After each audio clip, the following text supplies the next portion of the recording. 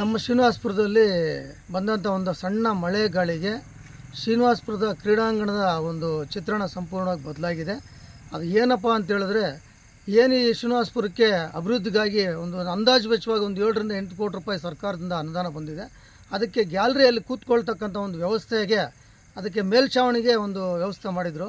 ಆ ಮೇಲ್ಛಾವಣಿ ಸಂಪೂರ್ಣವಾಗಿ ಕುಸಿದು ಬಿದ್ದು ಅಲ್ಲಿ ಮಳೆಗೆ ಬಂದಂಥ ಒಂದು ಸಂದರ್ಭದಲ್ಲಿ ಆಶ್ರಯ ತಗೊಳ್ಳೋದಕ್ಕೆ ಸುಮಾರು ಸಾರ್ವಜನಿಕರಲ್ಲಿ ವಾಯುಹಾರಕ್ಕಾಗಿ ಬಂದಿರತಕ್ಕಂಥವ್ರು ಕೂಡ ಅಲ್ಲಿ ಕೂತ್ಕೊಂಡಿದ್ರು.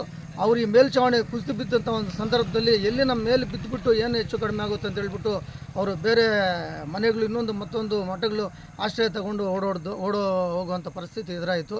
ಏನು ಅಂತ ಹೇಳಿದ್ರೆ ಬಂಧುಗಳೇ, ಸರ್ಕಾರದಿಂದ ಕೋಟ್ಯಾಂತರ ರೂಪಾಯಿ ಅನುದಾನ ಬರ್ತಾ ಇದೆ. ಆದರೆ ಈ ಕಾಮಗಾರಿಗಳು ಮಾಡೋದರಲ್ಲಿ ಗುತ್ತಿಗೆದಾರರ ಒಂದು ಜೋಬ್ ತುಂಬಿಸ್ಕೊಳ್ಳುವಂಥ ವ್ಯವಹಾರವನ್ನು ಸಂಬಂಧಪಟ್ಟ ಇಂಜಿನಿಯರು ಸಂಬಂಧಪಟ್ಟ ಅಧಿಕಾರಿಗಳು ಮಾಡ್ತಾ ಇದ್ದಾರೆ.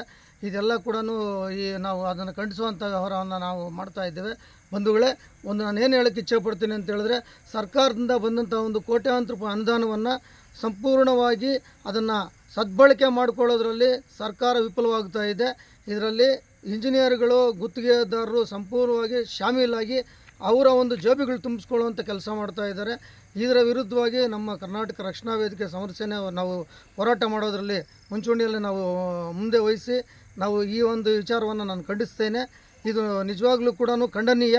ಏನಂತ ಹೇಳಿದ್ರೆ ಕೋಟ್ಯಾಂತರ ರೂಪಾಯಿ ಅನುದಾನ ಬರ್ತಾ ಇದ್ರು ಕೂಡ ಈ ಅನುದಾನವನ್ನು ಸರಿಯಾಗಿ ಸದ್ಬಳಕೆ ಮಾಡಿಕೊಳ್ಳೋದ್ರಲ್ಲಿ ಸರ್ಕಾರ ಮತ್ತು ಇಂಜಿನಿಯರ್ಗಳು ಏನಿದ್ದಾರೆ, ಸಂಬಂಧಪಟ್ಟ ಇಂಜಿನಿಯರ್ಗಳು ಅವರು ಒಂದು ಕಮಿಷನ್ ಹಣ ತಗೊಳ್ಳೋದ್ರಲ್ಲಿ ನಿರತರಾಗ್ತಾ ಇದ್ದಾರೆ ಹೊರತು ಕಾಮಗಾರಿ ಯಾವ ರೀತಿ ನಡೀತಾ ಇದೆ, ಈ ಕಾಮಗಾರಿಯನ್ನು ಯಾವ ರೀತಿ ನಾವು ಸಕ್ರಿಯವಾಗಿ ನಿರ್ವಹಿಸಬೇಕು, ಈ ನಿರ್ವಹಿಸೋ ಮಾ, ಈ ನಿರ್ವಹಣೆ ಮಾಡುವಂಥ ಸಂದರ್ಭದಲ್ಲಿ ನಾವು ಇದ್ದು ಯಾವ ರೀತಿ ನಾವು ಅದನ್ನು ಮ್ಯಾನೇಜ್ಮೆಂಟ್ ಮಾಡಬೇಕು ಅನ್ನೋದನ್ನು ಅವರು ಸಂಪೂರ್ಣವಾಗಿ ನಿರ್ಲಕ್ಷ್ಯ ಇತ್ತದಿಂದ ಈ ಒಂದು ಮೇಲ್ಛಾವಣಿ ಕುಸಿದು ಬಿದ್ದು ಇದರ ಒಂದು ಸಂಪೂರ್ಣ ಜವಾಬ್ದಾರಿ ಸಂಬಂಧಪಟ್ಟ ಇಂಜಿನಿಯರ್ಗಳು ಮತ್ತು ಗುತ್ತಿಗೆದಾರರು ಅಂತೇಳಿ ನಾನು ಆರೋಪಣೆ ಮಾಡ್ತಾ ಇದ್ದೀನಿ ಬಂಧುಗಳೇ.